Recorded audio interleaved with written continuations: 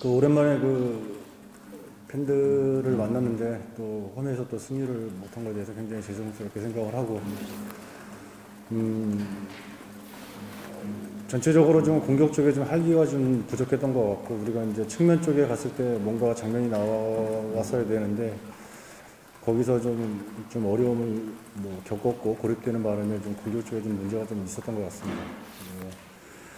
뭐 휴식기 동안 나름대로 뭐 선수들도 의지가 있었고 힘든 상황이지만은 모두 인내하면서 잘 뭐 준비는 했다고 생각하지만은 공격적으로 전개가 됐을 때 좀 더 디테일한 부분이라든지 그런 슈팅 장면에서 좀 해야 되는 타이밍을 좀 놓쳤던 게 좀 아쉬웠던 부분인 것 같습니다.